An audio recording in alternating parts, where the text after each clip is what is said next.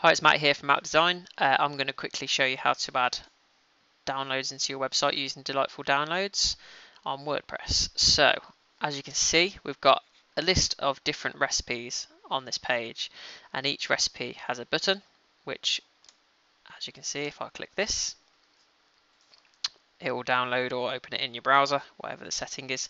So, what we're going to do is we're going to add the uh, another one into this page and talk you through it. So if we go into the WordPress dashboard, once you've installed the plugin, you'll get uh, this download section, and this is where all your downloads live, of course. So what we're going to do is we're going to add a new one here. And then as the title, let's just go with Matty's download. And we're going to upload a file. So for the purpose of this, we're going to upload a JPEG uh, you can upload JPEGs, PDFs, zip files. Um, I haven't come across anything that you can't upload yet, so um, be interested to know if if there is.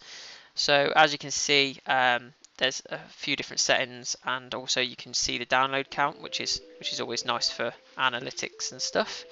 So for this page, it's a members site, so it'll replicate the same settings for the page. So I wouldn't mess with any of these. It, it tends to be quite quite self-explanatory anyway, uh, and it works the way it is. So what we're going to do, we're going to publish that.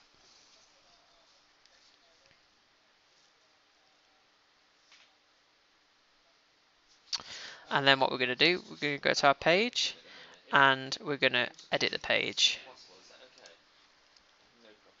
So you can see this is using the Divi Builder.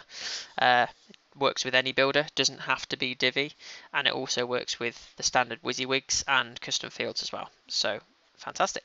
So what we're going to do is we're going to go into our into our section here where we've got you can see DD. So D download that means delightful download.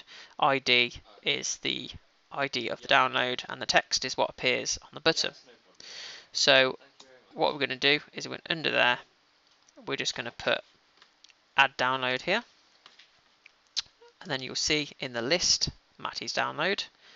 So what I've done um, is there's some styles set up automatically that that styles that button for delightful downloads.